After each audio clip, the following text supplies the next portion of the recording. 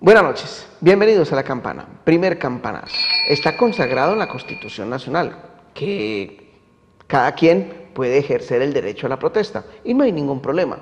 El tema de los estudiantes de las jornadas especiales de la UTP, hay unos que sí, hay otros que no. Los que no van a recibir sus clases porque hasta donde yo sé, uno va a la universidad a estudiar, no a vagar.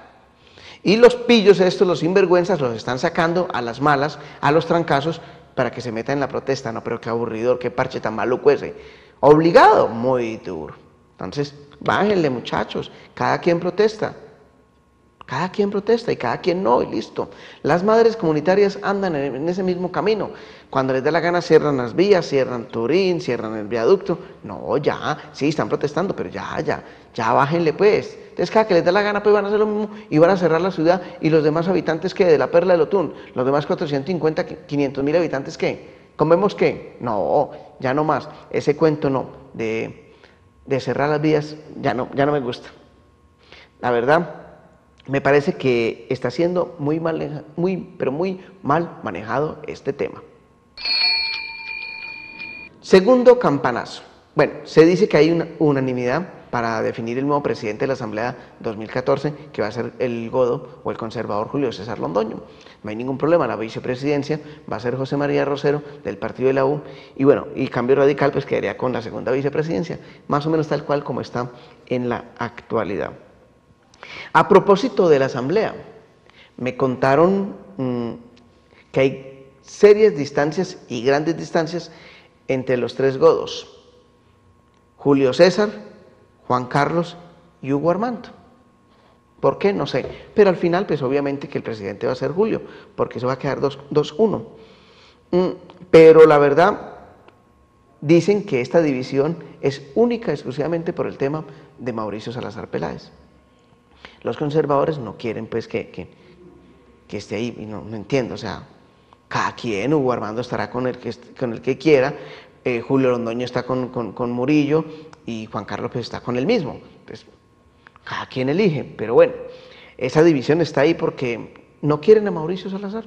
El hombre se le está metiendo, se le está metiendo, se le está metiendo. Y bueno, y la verdad lo tienen rezagado a Hugo Armando Arango, pero bien rezagado, lo tienen fuera de llavero a Hugo Armando. ¿Y el problema es cuál es? Que le toca comer callado. Pues María Irma es su jefa política. Y donde manda capitán, no manda Hugo Armando. ¿Qué más le vamos a hacer? Le toca aguantarse, aguantarse ese varillazo. Y bien grande.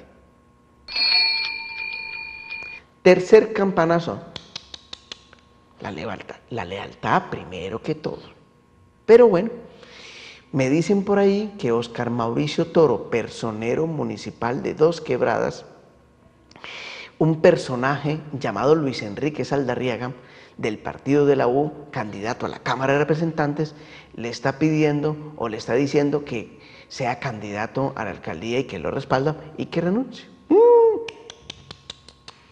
Ah, ¿No era pues que no tenía pretensiones? ¿No era pues que no quería nada? ¿Personero? No era pues que, mm, mm, que estaba dedicado a eso. No sé si será el momento. Bacha, bacha, bacha.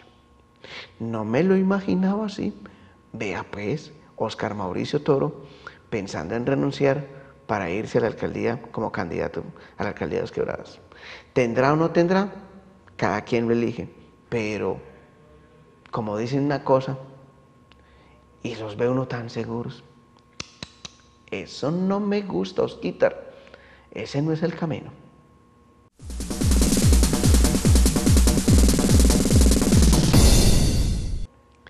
Suena en la campana un nombre que para muchos es fastidioso, es maluco, engorroso, cansón, petulante, bueno, de todo.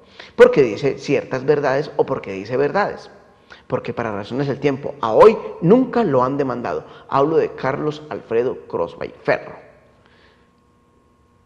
Este hombre yo le hago un reconocimiento porque todo tipo de cosas que dice y saca, la gente le refuta, pero hasta ahí, nunca lo demandan. Bueno, así como a mí, me quiere sino mi mamá, y que Dios me dé la oportunidad de estar acá, con eso es suficiente.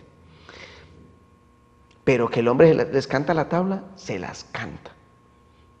Muy bien por usted, Carlos Alfredo. Siga así, sea candidato, no sea candidato, llegue o no llegue, pero usted es el único que les canta la tabla. O uno de los cuantos que les cantamos la tabla.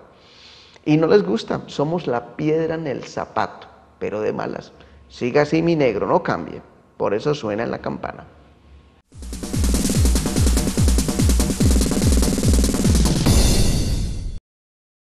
No suena en la campana.